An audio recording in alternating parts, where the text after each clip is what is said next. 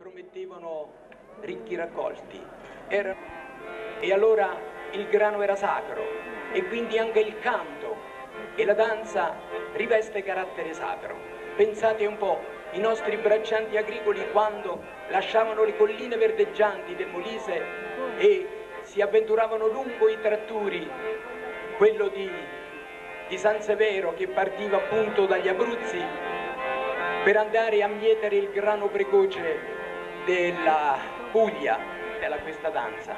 Vedete come è trascinante, come è patetica e gioiosa nello stesso tempo, perché i contadini soffrivano ma erano veri poeti, veri musicisti. Ecco per voi Ubal e il coro dei mietitori. E mo cannelle